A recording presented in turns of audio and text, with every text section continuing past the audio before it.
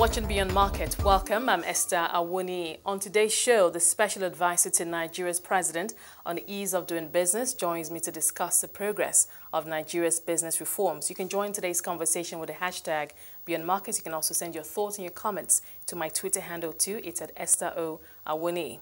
Nigeria has moved up 15 places in the World Bank's 2020 Doing Business Index with a score of 56.8 points Nigeria now ranks 131 out of 190 countries, and for the second time in three years, Africa's largest economy makes a cut as one of the top 10 most improved economies in the world. Jumoke Oduwole, special advisor to Nigeria's president on ease of doing business, joins me to discuss the progress of Nigeria's business reform so far. I must say what, congratulations. Thank I know. I mean, you and I have had several conversations. Mm -hmm. We've been, you know, through this step by step, uh, the just the process and seeing these reforms actually coming to life, you know, has been quite an interesting one. But let's just quickly start with uh, this latest one, 15 steps up, and uh, you did conduct reforms impacting six indicators from starting the business, dealing with construction permits, getting electricity. Just talk us through it. I mean, starting the business, for instance.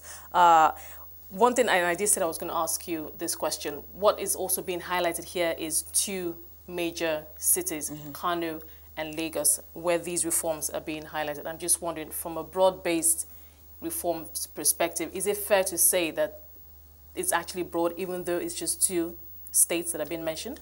Well, um, thank you for the question, and thank you for having me as always, Esther. The World Bank survey takes really the top commercial capital so most countries in the world, it's just the one commercial capital. The okay. UK is just London. Okay. Nigeria has two cities, exactly for that question, for a bit more depth, because we had a population of over 100 million as at 2023. So just a handful of cities.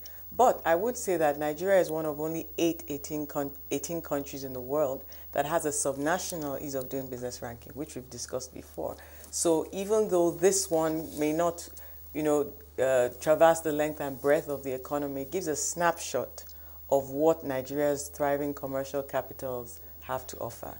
Okay, now for those who are curious, how Nigeria was able to move up 13, 15 uh, steps this time around, starting with the business. Of course, we all know what some of those bottlenecks were. So what were those major changes from that first uh, indicator? So, you know, I'll be honest with you, it's been a journey. So we've been on this journey three years. A number of the reforms that were recognized this year had been done two years ago. Okay. So what it is is that private sector needed to validate the reforms, so a bit of a lag. So for instance, we had done uh, registration of business names for 24 hours. We had, we had done a number of things, registration for two hours, but when private sector doesn't tell the World Bank that they're feeling it, they're using it, it's in practice, majority are using it, then we don't get the point. Okay. So this is kind of a back-end dividend. Last year, you know, we kind of plateaued because we didn't get the validation, but the work had been done. So we spent a lot of time communicating and making sure that the reforms were actually being implemented in practice and felt. And that's where you see the validation coming through for us. But apart from that, do you also do you have some kind of engagement also with the private sector, or how often? I suppose oh, you, yes. you must, oh, anyways. Yes. So oh, I mean, how often yes, did that happen? We meet with private sector around the country okay. in quarters. Right now, we're on a subnational tour. We had a kickoff event in Lagos two weeks ago. So we regularly engage in uh, stakeholder forums. Um, I've been in Kano about four times this year. Okay. Um, Lagos, we were here pretty often as well. We also go around the rest of the country because we don't uh, segregate. Yes, we're working on rankings, but more importantly, we're working on making sure that the impact of our reforms are being felt, and that can only happen when private sector know about the reforms. I also do accept quite a few invitations from organized private sector and from other groups, so I get to speak, and my team also, members also get to speak on the reforms. We engage with uh, Lagos Chamber of Commerce and Industry, Manufacturers Association of Nigeria, all sorts of organizations um, invite us and we get to share the reforms. We're very active on social media. Uh, we're particularly targeting certain demographics, uh, particularly the younger demographic, because you know that we, have, we don't have enough jobs. So we want to make sure that that entrepreneurial spirit is able to thrive. And when people are trying to sort themselves out, that we're right there for them. So we're really the champion for small and medium-sized enterprises. So we do a lot targeted at making sure that they know what's going on. Well, so obviously these engagements allow you to know the exact pressure points for yes. the for the private sector. Yes. So you go back yes. with um, with that. Okay. But in terms of, I mean, uh, yes, I mean, it's yielded results now, but for the starting business, just to spend one or two minutes on this, what would you say were the biggest stumbling blocks, if there were, in terms of it getting or achieving this success now? Yeah, you know that World Bank looks at the cost, looks at the time, and transparency. So we had reduced, uh, we had made sure that you don't need a lawyer to register your business, mm and that had been put at a cost of about 60,000 naira. And for the last two years, we've made sure that you can do a self-application. And now we have majority of en uh, entrepreneurs going on the portal themselves because we closed every manual avenue and we made it automated. So even if you're using a lawyer, they're also going online, but you yourself can go online. And so that cost was now removed for us, and that was a big one. So it's 60,000 naira cheaper in quote cheaper. to register a business in Nigeria because you, you don't, it's optional to pay that. So. Okay, yeah. let's quickly move on to dealing with construction permits. And this mm -hmm. was mm-hmm. also a challenging one. Yeah. And I, from what I see in the report, removing the infrastructure development charge was a yes. game changer for yes. this. Yes. Talk to us about that. Yes, uh, Lagos State took a very bold uh, step. We, we had discussions and we did field surveys and we persuaded uh, the government that this charge could be removed for this demographic. Uh, smaller businesses, smaller sized um, um, structures don't need to pay that level of, you know, it was quite, uh, the, the cost was quite uh, large, significant. And so they were persuaded and they removed the charge two years ago. Oh, I'm just wondering because, yeah. I mean, we're at a time yeah. where not just the federal government, but yeah. the subnationals are looking for exactly. additional revenue. So that's why, I mean, kudos to the Lagos State government. They took that bold step two years ago. But mm. a lot of people didn't know, hadn't yet validated the fact that that charge was no longer there that lag has disappeared. Now with a lot of communication and with us being able to prove that people are no longer paying that charge, then we got the validation. But what about people in other states who are saying, hey, well, that's Lagos State. I, I, mean, I do business here too. When is, this, when is my state going to do this? So, you know, we work with the National Economic Council and um, like right now we're heading to Anambra, Imo, Jigawa, Borno, Delta, Ekiti, the whole idea is to make sure that it's not a Lagos Kano intervention. Uh, we work with the National Economic Forum to replicate the model across the country because most businesses do uh, transact their, their business across state lines anyway. Either you're sourcing for materials or you're selling somewhere else. So it's very important for the intervention and for the economy. That's a holistic approach. So that's our strategy. And so it's a lot of peer learning. Of course, we're a federation and the states have exactly what uh, they have, um, you know, what their own purview is and is their prerogative. But when you see that your peers are attracting investment, then you also want to make sure that your business environment is more competitive. So it's a learning and it's also sort of healthy competition between states. Mm. But, but, but do you get concerned sometimes just thinking about the fact that, you know, at the end of the day, some states may not want to be persuaded as, as it were, and that might uh, through take away some of the momentum. I mean, overall, like you said, mm the World Bank looks at the two biggest cities, mm -hmm. so the mm -hmm. rankings keep keep going yeah. up. But for you know impact on the ground for the business owners themselves, do you are you concerned sometimes that that may drag you back, progress back for PEBEC, if many of these states don't come on board? Well, I must say I'm extremely proud of the governors because no state has come to say I'm not interested. It was a unanimous decision, and I, I brief them regularly. They're very enthusiastic and positive. Every state wants IGR, so they want that investment, both domestic investors and foreign investors. So they're quite bullish about it. Almost every governor has an ease of doing business reform champion, a special advisor, or a commissioner that has this portfolio. So I have a lot of colleagues at the state level, and we interact regularly. States are also seeing that some of their peers are able to poach investment from them in regions. So the competition is really on. And so they're taking it quite seriously, I must say. Okay, let's move on to the third indicator, elect, uh, is it getting electricity? Yes. yes. Uh, that's also a tricky one.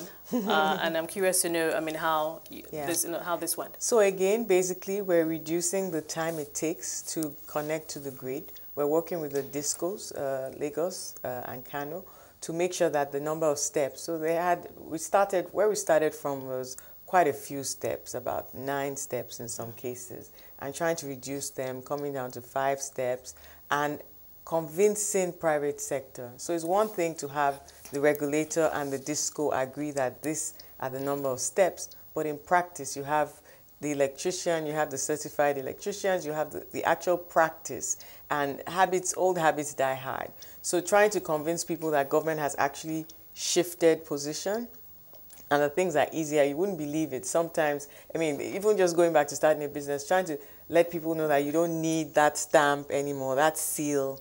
In practice, those things just take a long time to go away. And it's, it's a worldwide phenomenon. But until private sector have adhered and validate, you don't get the point. I remember yeah. we also talked about because part of your job, part of this mandate is also changing mindsets. Yeah. I remember we've talked several yeah. times about this too. Uh, would you say that is also is that also improving? I mean, just the yes, stamps and you know yes, old yes. ways and all of that. I think that there was a huge distrust. There was a trust deficit from 2016, and now the conversation is a lot more nuanced. Private sector are beginning to, of course, the reward for hard work is more hard work. So the more you have a reform, the more is expected of you, and that is the way it should be because it's a journey. But um, sometimes trying to get private sector to know that, you know, just test it out. They're used to their old ways. So it takes a lot of cajoling, a lot of responsiveness, not being defensive, persuading. Sometimes somebody just gets frustrated with the process and sends out a tweet, this portal isn't working, or this, you know, this is a 419, this is fake. Instead of getting upset or defensive, the agencies engage with them, respond to them, take them through, whether it's a visa on arrival, whether it's CAC registration, whatever process it is, because it's changed. So you need to, the, the biggest thing about change is information and transparency, and it takes some time. But we're happy that we're getting in a, in a stride. Nigerians do know that the government is interested in making the business climate more conducive. We need to be competitive. We need to have uh, better production. And so it's a whole slew of challenges, but with a systemic approach we know that we're denting the. Hmm. You know, you and I also talked about because for the mindset, yeah, we just talked about the private sector, but it was a bit of a, a big challenge also with your own side of things as a public sector yes. in terms of okay yes. you are now yes. having to deal differently with the private sector and with this new mantra this new mindset you have to stay with on message everyone has to stay on message we all have to that's why we have the executive order one we released our second year our second annual report on tuesday it's important that public and civil servants are measured by standard operational procedures, uh, timelines, transparency, who's in charge, who's responsible, what is the timeline, um, consequence management, encouragement. Uh, so those are the tools. Uh, with the executive order, we have the PEBEC award sometimes. So when things are working, I urge people to please mention it. It's a journey. And then trickling down, we have a lot of cooperation from the higher levels. But for the for the uh, message trickling down, it's also quite tricky. I mean, I've I've spoken to officers, um, maybe at the airport, for instance. I said, you know, this form is no longer the case. PEBEC has gotten there telling me the memo hasn't come from Abuja. I don't know about that. So I'm like, you know, back to their senior colleagues that this message needs to come down. We also need a lot of training. There's some assistance that our public and civil officers service officers can also benefit from, and we all have to encourage each other to make this work. Well, let's just take a short break at this point. We'll come back and pick up from where we left off. I've been speaking to Jumoke Oduwole. Mm-hmm. She's a special advisor to Nigeria's president on the ease of doing business. If you're just joining us, Jumoke Oduwole, special advisor to Nigeria's president on ease of doing business, is my guest today, and we are discussing Nigeria's business reforms. Thank you, Jumoke, for your time so far. Let's quickly move this along. Let's start with it. Let's continue with the fourth, registering property. That's also a tough tough one. Yeah. Uh, but just help bring us up to speed on the progress that's been made with this one. Registering property, you know, it's also within the state purview. So we work with our colleagues in Lagos and Kano State to make sure that the processes are more conducive. So Kano State, for instance, started using professional consultants to make the process smoother for the, for the public and, and quicker. So they did some outsourcing just to make it easier and faster um, also more cost efficient. Uh, um, Lagos State has continued to have, they have a reform uh, plan in place. They've continued to have that, even just the customer facing. Um, last year, they, they, you know, we did just uh, the conduciveness. It's, a, it's, it's by repeating what has been done until the public get it and know that these are in place. Um, I think sometimes there's skepticism and people are used to doing things the way they do things. But I would want to urge the public to test these reforms, uh, test the online payments, test the use of emails, test all the good reforms that are out mm. there for you. And while all of this is happening, your feedback mechanism, is that yeah. still strong? As I remember the last time we spoke, you did talk about how active that it was. It is. We have at the federal level the report gov.ng. Lagos State has a Citizens Gate um, which is a report uh, mechanism. At the stakeholder engagement, the kickoff of national event, the governor also said he wants them to have a report gov for LASG. Uh, .ng. So we're going to partner with them on that. The idea is to make sure that the feedback that we're, we're basically responsive, responsive government. Um, the reforms have to go to where the shoe is pinching. And if we get feedback that any reform at all, we've had situations in the past, not now, where a reform was done um, and the private sector were like, whoa, this form is even more complicated. Like this automated form is even more complicated than the manual one page I had. Let me just use my paper. So we had to engage. That was a tax reform, I believe, about three years ago.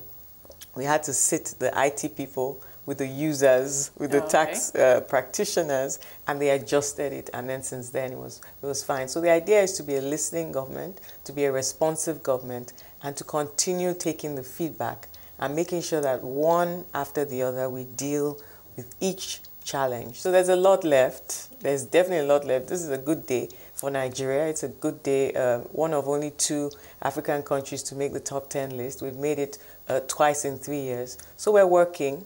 Um, and I think that the, the partnership is working. Private sector is becoming more open. They're reporting more. They're engaging more. We had um, over 400 people at the last event we had. So there's so, a growing belief yes, in the process. Yes, yes. But yes. in terms of capacity in your office, I mean, as more people engage and are believing that, that, this is working, I'm thinking, like you said, more hard work down the line yes, for you. So yes. capacity comes into yes. the question here. Capacity definitely does. But we've been at it now. This is the fourth year. And our, our strategy for sustainability is really working. We've always worked with the reform champions. Those are the public and civil servants.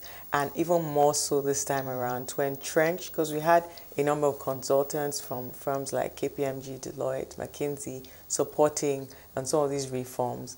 But now we're starting to build some competence within the agencies, uh, within Servicom, and the IT departments are uh, layering homegrown automation, the sustainability plan is to make sure that, like other countries, you might have somebody checking on doing business reforms, but it's internalized in each ministry, department, and agency on an annual basis as part of your strategy. How can we make things simpler?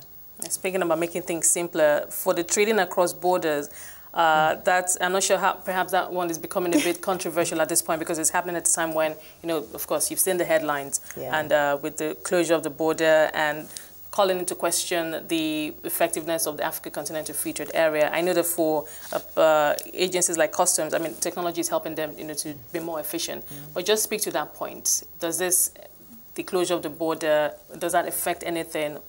What can you tell us? The conversation is nuanced.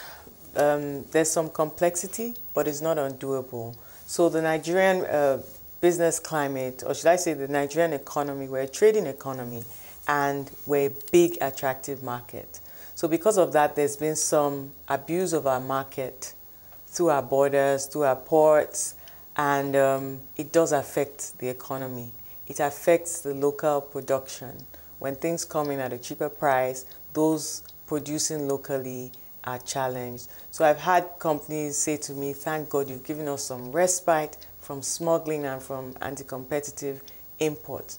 But of course, you have companies that are dealing across the region and have their trucks stuck at the borders. That's also a, so there are different demographics and there are different things that the government is solving for. Needless to say, we have to solve all these challenges. That is why uh, we're government. So you have to take them one by one. Sometimes you prioritize some shock treatments over, but you know, whatever the administration decides, what we know is that we're bullish about the AFCFTA. Nigeria is uh, reasonably competitive. I think there are only about four or five, a handful of countries more competitive than us in the entire continent. We've been very, we've been dominating informally. This is an opportunity to formalize it.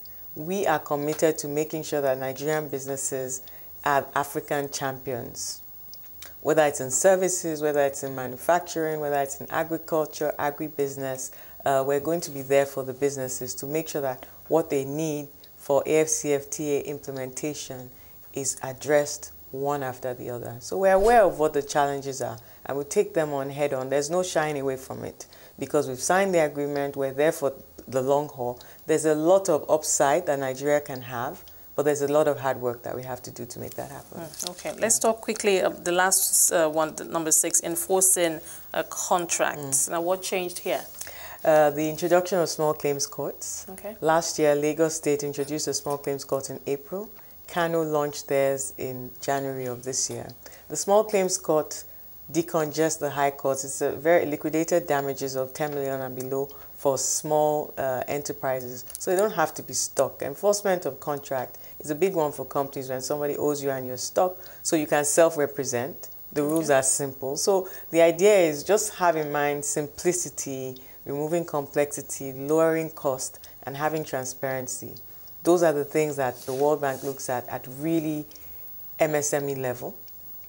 And then you have more room for more competitive like scale issues to deal with that that sophisticated more sophisticated level. Okay. Yeah. Now for i mean there was the PEBEC 60 day national action plan and that went up to four forward launch 4.0 yes, yes, so where, where are we yes. with the national action yeah. plan i mean that's you know our homegrown accelerator mm. we do one every year the first year we did two uh, we finished NAP, NAP 4.0 earlier this year it's an accelerator. We start the reform cycle November every year, and we agree a broad consolidated list of reforms across all the MDAs and the states, everybody involved, and we start tracking it. And then by about late January, February, we go into a 60-day accelerator, like a, a last push, and we measure the reforms and we track it weekly and then by April we know where we are because there's cutoffs. If you're talking about DB, there's mm. cutoffs uh, end of April. So that's what it is. So NAP 5.0 will happen at the beginning of next year, like Q1 next year. Of course, the reform cycles continue in July. Okay. We focus on homegrown things that are not necessarily anything World Bank related because a lot of those come to the fore. So no, with this progress, no, we're now at 131. Does that make you go back to the drawing table to for a change of strategy, or are you going to just stay no, the course because it looks like it's accelerating. Okay. You know, you know, Esther, that we had things on the table that we mm. didn't get to. You know that by 2020 we want to be a sub 100 economy. The Companies and Allied Matters Act is poised. There were some last minute hiccups. We're about to reintroduce that to the National Assembly, get that signed this quarter once we're sort of uh, done with the business of the budget budget cycle. That in itself is a game changer. It hasn't been reviewed in 30 years. It hasn't been overhauled in 30 years. Once we get that, that's going to be good traction. There are a lot of other things. So it's like a CAMA plus acceleration. So we're bullish about next year as well. And we intend to be a sub 100 economy by next year? Yes, 2020. Okay, but what would you say, I mean, just looking from the journey 2016 up until now, what would you say has been for you, I mean, leading this charge? I, I imagine, obviously, your team, you're all over, going from one place to the other across the country. It's a big country. Mm -hmm. It's a big market. It's a big business uh, environment. What would you say has been the most challenging for you uh, executing this? Consequence management on the public sector side. I think that with more consequence management, we'll have faster traction, more discipline, we'll have faster traction. On the private sector side, I think uh, building the trust, uh, uh, quicker uptake on private sector side, you know, just having some trust and trying these reforms out and um, making use of them because a lot of hard work. Um, so I would say private sector, use the reforms, try them out, commend public sector, the officials need the encouragement. I would say public sector, put your hands to the plow because Nigeria needs you and is relying on you. We need the private sector to make this economy work. Jumoke, I must thank you for your time today. Thank you so much. You're and of welcome. course, all the best with the yeah, uh, rest of the you. journey. I've been speaking to Jumoke Oduwole, Special Advisor to Nigeria's President on the ease of doing business. With that said on Beyond Markets, thank you so much for being a part of it. Remember, you can watch the show at 5 p.m. West African time daily and have access to all previous episodes of the show on our website. That's cnbcafrica.com. You can also stay engaged with the hashtag Beyond Markets. You can also follow my Twitter handle too. It's at Esther O. Awoniyi. For myself and the team, it's bye for now.